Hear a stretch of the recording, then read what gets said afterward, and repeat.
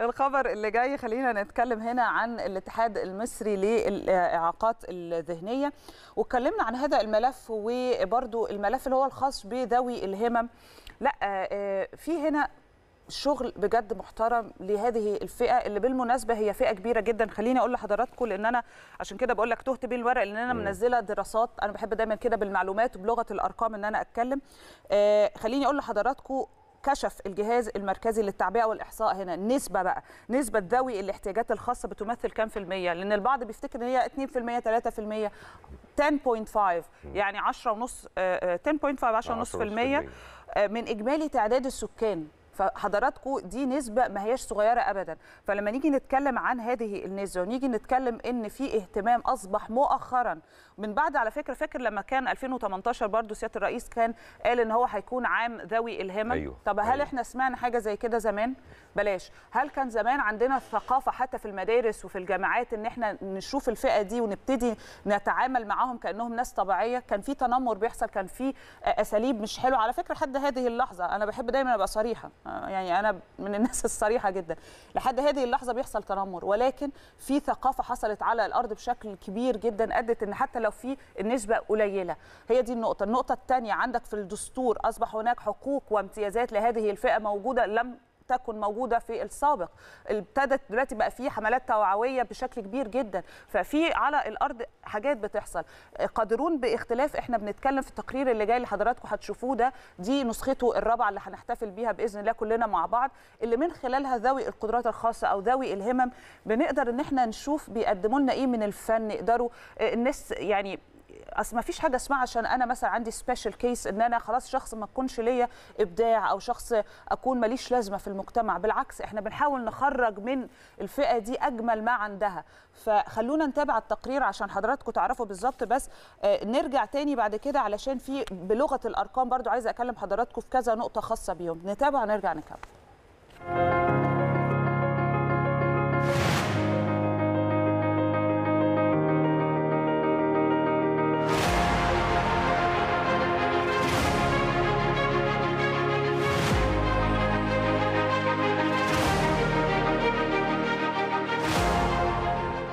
جاي النهارده عشان عايز انضم لقادرون باختلاف عشان نفسي اقابل سياده الرئيس لاني بحبه جدا وبعتز بيه وفخور بيه لأن هو كان ليه سبب بعد ربنا في مشاركة القادرون مشاركة ذوي الهمم وقادرون باختلاف في جميع أنشطة وسبل الحياة سواء الرياضية أو الاجتماعية.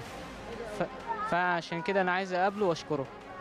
وأنا جاي النهارده عشان أنا ب... ب... عندي موهبة الإلقاء والتحدث.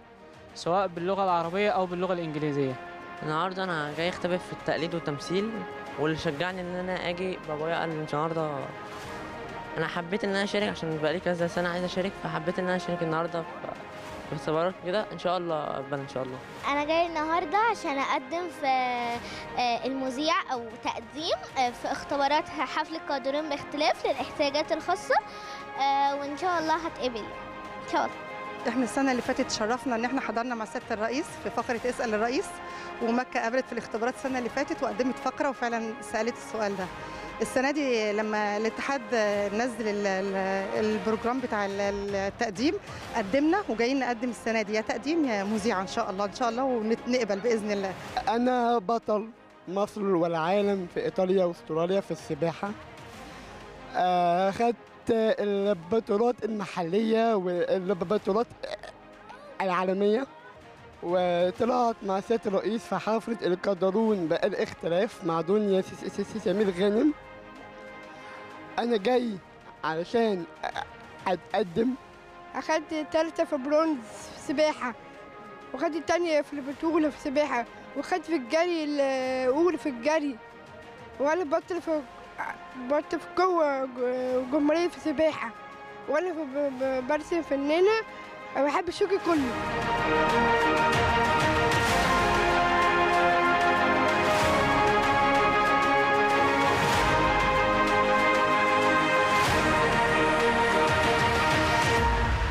اشتركت قبل كده في النسخة التانية كنت بقدم مذيعة مع جاسمين طه.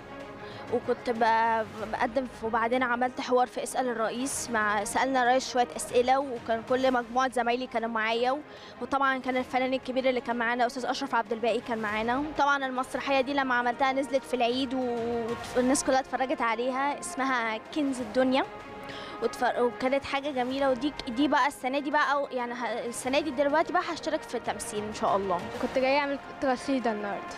وأنا بطلت الأشقاء العرب على 15 دولة عربية مركز أول باسم مصر وبطلت الإمارات مركز أول على خمس دول عربية مركز أول باسم مصر في ال fitness وبطلت كاراتيه حزام اسود آه، وبطلت جري. أنا أخدوني أو- أول منتخب سلة وبإذن الله بإذن الله هطلع بطولة عالم. أول مرة بكي هنا كل يوم بس آه، استعبط في البيت يعني. بقعد على اللابتوب وبفرغ الأمر عروسة أسألك في البطولة يعني مركز الأول. إن شاء الله هخش البيات الخاصة علشان هكسب فيها وأستلم المركز الأول البطولة الأولى عشان أستلمها عشان هسافر من هنا بعد كده هسافر بعد كده على مرسى مطروح إن شاء الله ونحتفل مع أو أحتفل على عيد ميلاد وبحبك أوي وبشكرك على كل حاجة عملتها علشان. أنا أشكر الرئيس عبد الفتاح السيسي كموري وهمم عملت معاه وشاركت إيه في قاهرة بال- في يوم ومرتين. مصر يا أنشودة الدنيا وأغنية الشعوب. يا كعبة الأحرار رنة وتافة. نصي في القلوب. يا أم أبطال الفنون. يا أم أبطال الحروب. يا جنة تعتز بالأسرار. بين شذا وطيب. شد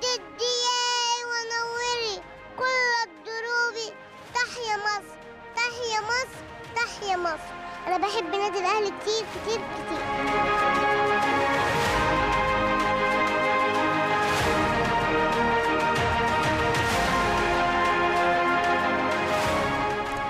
والله العظيم يعني الواحد لما بيشوف حاجة زي كده بيفرح. بجد ده الإحساس اللي بيجي الأول وهلة. تحس آه، بتتعلم. يعني إحنا الكلام ده قلناه قبل كده حتى لما ضيوفنا كانوا معانا هنا من ذوي الهمه في رياضات مختلفة وبالمناسبة كانوا أبطال. لو أنت فاكر يا كريم وكان من الاقزام وكان من المكفوفين وغيره وغيره وإعاقات ذهنية بالمناسبة. وكانوا برضو بيشاركوا في بطولات وكانوا بيكسبوا. فده بيديك أمل إن إحنا ممكن نكون البعض مننا سليم جسمانيا بدنيا لكن مخه هو اللي فيه مشكلة أو الإعاقة في الفكر الإعاقة في عدم القدرة على إن أنت أصلا تستوعب إن أنت ممكن توصل لأي حلم أنت عايزه. طالما أنت عندك الإرادة وعندك الهدف هتقدر توصل. مفيش حاجة اسمها كده. مش مهم الصعوبات مش مهم مين بيوقفك مش مهم مين بيغير مش مهم الكلام ده كله بس بتوصل في الآخر لما بتبقى عايز. فالناس دي بقى رغم كل ده ودي حاجات بقى يعني تفوق ال- المصاعب اللي إحنا بنقابلها بدرجات يعني عالية جدا. شوفوا قد إيه بيقدروا إن هم يوصلوا. أنا بس عندي نقطة يا كريم ولو أنت تتفق معايا. أنا رسالتي للأهالي لأن أنت دلوقتي بتتكلم المجتمع فكره اتغير. آه، الدولة اهتمامها يعني غير مسبوق بصراحة ما شفناش ده زمان. إنما الأهالي في منهم لحد هذه اللحظة بيخافوا على أولادهم بزيادة لدرجة إن هو ممكن يبقى قافل عليه ومش عايزه يتعامل مع الع- العالم الخارجي. فرسالتي للناس دي لأن أنت ربنا يديكوا الصحة طبعا كأهالي بس أنتوا مش هترشونهم على طول. لازم تعودوهم إن هم يتقبلوا من المجتمع ويتقبلوا نفسهم في المجتمع ويعيشوا يبقوا جزء منه لأن هم بالفعل جزء منه. فالدفعة الأولى لازم تي- تيجي من البيت. أنا بتمنى كل بيت عنده يعني آه، شخص أو بطل زي كده إن هو ما يخافش عليه يسيبه ينطلق في الدنيا يحقق ذاته. يعني زي ما بيتقال كده كفاية اللي هو في ما تقفلش عليه وتموته بالحياة كمان. يعني نتمنى الرساله دي توصل للجميع لأن اولادكم بجد آه، عندهم مواهب خاصة عندهم قدرات خاصة يمكن إحنا مش شايفينها وهم ممكن يكونوا متفوقين عندنا أو عننا بشكل كبير جدا يعني. أنا آخر حاجة بس عشان ما أطولش في هذا الملف لأن بالنسبة لي ده من الملفات اللي أنا بحبها جدا يعني أو بهتم بيها. كنت بقول لحضراتكم إحنا نسبتهم بالظبط 10 أو 10.5% من تعداد السكان في مصر. تحديدا بقى كريم برضو عشان الناس تبقى عارفة آه، هنا ذوي الإعاقة 8 مليون فاصل 6 مليون شخص ده اللي هم آه، ذوي الإعاقة اللي زي ما بيتقال عليها شوية بسيطة. بعد كده عندك سي- 6 مليون فاصل 6 برضو بتبقى أصعب شوية مليون و600 اللي هي الكبيرة أو الصعوبة الشديدة الإعاقة الشديدة قوي و390 ألف شخص ده آه، يعني زي ما بيتقال دي أو لديه صعوبة مطلقة. يعني بتبقى الكيس شوية مش حلوة ابدا. بس ففئه كبيرة آه، موجودة وسطنا. نتمنى إن هي آه، تقبل لأن هي مش هينفع حتى أنت عارف لو أنت ما قابلتهاش في المجتمع أو تنمرت عليها هي مش هتبقى مختفية هي كده كده موجودة. استغل أو يعني اقبل الغير وعلم ولادك إن هم في المدارس يقبلوا الغير. يعني أنا فاكرة على فكرة وإحنا صغيرين كنا بنشوف أطفال بيقعدوا يتنمروا على حد لما بيكون من special needs يعني. كنت بدافع عنهم بالمناسبة بس كان في غتته كده أطفال. أنا ما أعرفش يعني آه، نتمنى نتمنى ده يختلف الفترة اللي جاية كمان. طالما فتحتي بقى باب الرسائل المجتمعية الموجهة لأولياء الأمور زي ما قلنا لاولياء الأمور اللي عندهم أطفال أو أولاد آه، عندهم الكيس دي فلازم يبقوا برضو زي ما انت بتقولي ما يبقوش قافلين عليهم بزيادة. في رسالة تانية كمان لأولياء الأمور اللي ربنا أنعم عليهم بأطفال أسوياء.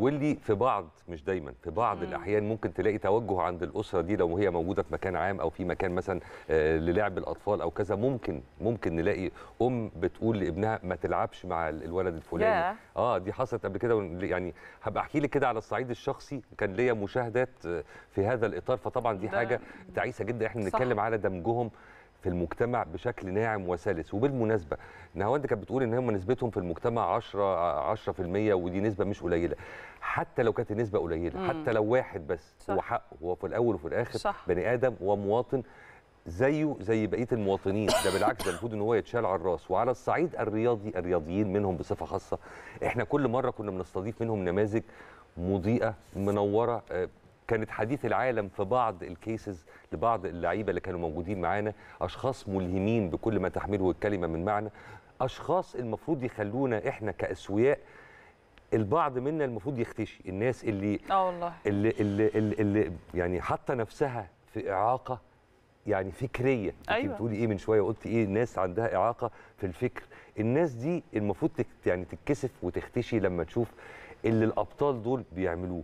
ما بالكم لو كانوا أسوياء لما الناس دي في وسط الظروف ال- ال- القدرية الصعبة جدا واللي تست يعني يعني تستدعي وجود نفسية قوية وأهل عارفين كويس قوي إزاي يتعاملوا مع هذا ال- الموقف أو مع هذا الكيس ال- الحدوتة دي ما هياش تفضل مننا كمجتمع. ده واجب علينا مسألة الدمج. عشان برضو يبقى إيه قفلنا ال- معلش يمكن إحنا. طولنا شوية في الملف ده بس بس. هو ملف يستحق وفي طبعا. حاجات كده ما ينفعش تعديها وخلاص لأ ده آه، شيء لازم نتكلم عليه وهنفضل نتكلم عليه لأن ده دورنا وزي ما كريم قال برضو إحنا بنستضيف منهم رياضيين أبطال فلازم ده دورنا إن إحنا نعمل وعي في المجتمع